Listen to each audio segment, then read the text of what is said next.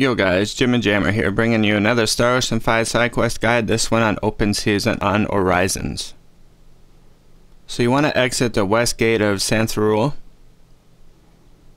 And here are all the mob locations, we're going to focus on the first one now. So we're going to use the Ocarina on the first one, there's going to be four monsters there, and then just use the Ocarina, respawn them, and then kill them, and then the quest will be over. So they'll be up near the uh, cathedral portal that sometimes spawns up here.